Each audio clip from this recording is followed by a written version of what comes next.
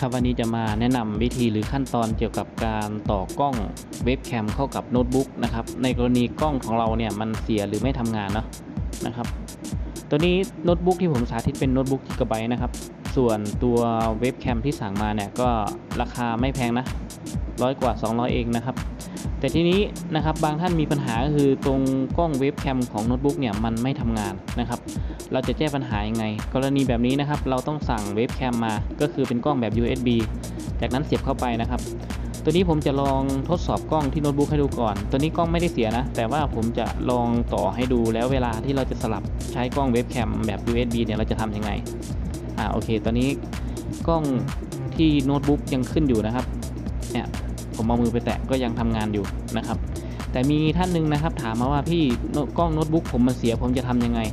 เราสามารถเอาเว็บแคมนะครับหรือกล้องกล้อง USB เนี่ยนะครับเป็นกล้องเว็บแคมแบบ USB มาเสียบมาเสียบเข้าที่ USB ทีนี้พอเสียบเข้าไปนะครับ มันก็จะโชว์ลักษณะให้การเลือก เดี๋ยวเรามาดูกันนะครับตัวนี้เป็นกล้องเว็บแคมตัวนี้ที่สั่งมาราคาร้อยกว่าบาทเองนะครับ เกือบ 200 นะครับท่านสามารถไปหาดูได้ในพวก s h อ p e e Lazada นะ แต่ถ้ารวมค่าจัดส่งก็อาจจะประมาณสัก 200 นิดนะครับ แต่ว่ากล้องตัวนี้รู้สึกว่ามันจะออกมืดๆหน่อยนะนะครับ ก็ถ้าท่านมีงบประมาณที่เยอะกว่า ก็ลองเลือกยี่ห้ออื่น หรือยี่ห้อที่มันภาพคมชัดกว่านี้นะครับ มันก็จะสมกับราคาเนาะนะครับ เพราะว่าตัวนี้มันร้อยกว่าบาทเอง โอเคหลังจากเราเสียบ USB กล้องเว็บแคมเข้าไปเนี่ยนะครับเดี๋ยวเราไปดูที่ตัวโปรแกรมที่เราใช้ในการเรียนออนไลน์ หรือการใช้กล้อง ตัวนี้ผมใช้ Google Meet นะครับในการสาธิตนะนะครับเพราะว่าตัวนี้ Windows 7มันไม่มีโปรแกรมกล้องเว็บแคมในนี้ แล้วก็ใช้ Google Meet เลยครับ ส่วนใหญ่ตอนนี้เราเรียนออนไลน์แล้วก็ใช้ Google Meet ใช่ไหมแล้วก็เข้าไปที่ Google Meet เลยนะครับอ่าพอมาที่ Google Meet นะครับมันจะเนี่ยเราก็เลือกตัวนี้เป็นแบบ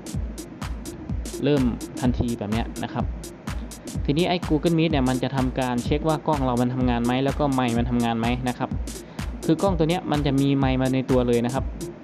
โอเค ทีนี้จะเห็นว่าตอนนี้มันใช้กล้องโน้ตบุ๊กอยู่ เราจะสลับยังไงทีนี้มาดูนะเนี่ยครับเราสามารถเลือกบริเวณจุดนี้มันจะมีให้เราเลือกอยู่นะครับตัวนี้นะกดเข้าไปนะครับ มันจะมีคำว่าไมค์กับกล้องเห็นไหม นะครับ ถ้าตรงนี้ไม่ให้เลือกนะครับ ให้เราเลือกคำว่าจัดการแทนนะครับ ด้านล่าง โอเคเนี่ยครับ กดตรงนี้ พอกดเข้ามาปุ๊บนะครับ จะเป็นการตั้งค่าเกี่ยวกับการใช้งานนะครับ ให้เราเลือกเป็นที่เว็บแคมหรือกล้องนะครับเนี่ยครับ เสร็จเรียบร้อยนะครับ อ่าสักครู่นะเนี่ยครับตรงนี้มันจะมีให้เลือกเห็นไหมเห็น USB โผล่ขึ้นมาแล้วนะครับ พอเรากดตรงนี้ปุ๊บนะครับกดย้อนกลับมาทีนี้ ตัวโปรแกรมหรือแอปที่เราใช้งานอยู่เนี่ยมันจะสั่งสลับการทำงานของกล้องอัตโนมัตินะครับเห็นไหมตอนนี้กล้องจะมาใช้ตัวเป็นแบบ USB ที่เราเสียบเข้าไปแล้วนะครับอ่าซึ่งก็จะเป็นประโยชน์นะสำหรับท่านไหนที่อ่าโน้ตบุ๊กนะครับกล้องเสียหรือกล้องไม่ทำงาน หรือกล้องมันไม่ภาพไม่คมชัดน่ะเราสั่งกล้องเว็บแคมมาใช้แทนแบบนี้นะครับ โอเค เราสามารถเอามาวางไว้แบบนี้ก็ได้นะครับเนี่ยเราก็สั่งสลับไปสลับมานะครับ ก็คือถ้าตัวเว็บแคมที่โน้ตบุ๊กมันไม่ทำงานเลยแล้วก็สั่งสลับไปใช้งานกล้องตัวนี้แบบใช้งานตลอดก็ได้นะครับ อันนี้ขึ้นอยู่กับเรานะครับ หรือถ้าเราไม่อยากไปสลับข้างในนะครับท่านดูบริเวณตรงตรงหน้าจอตรงกล้องนะมันจะมีจุด 3 จุดมุมขวานะตัวนี้เนี่ยกดเข้าไปตรงนี้ครับ เสร็จแล้วก็เลือกเข้ามาตั้งค่าตรงนี้นะครับ เลือกเข้ามาตั้งค่าตรงนี้ มันก็จะเข้าสู่การตั้งค่าตัวนี้เลือกกล้อง USB เลยก็ได้เหมือนกันนะครับเนี่ยครับมันก็สลับไปสลับมานะเห็นไหมนะครับอันนี้ผมลองสลับกล้องนะกลับคืนไปที่โน้ตบุ๊กให้ดูนะครับ ท่านก็สามารถสลับตรงนี้ได้ง่าย ๆนะครับ ไม่ว่าจะเป็นพวก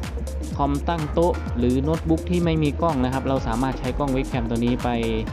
ช้ประโยชน์ในการต่อเข้าไปที่คอมนะครับ โอเคครับ ก็เอาไว้ประมาณนี้ครับ เดี๋ยวเราพบกันใหม่ในคลิปต่อไปนะครับ ขอบคุณท่านครับ ขอบคุณครับ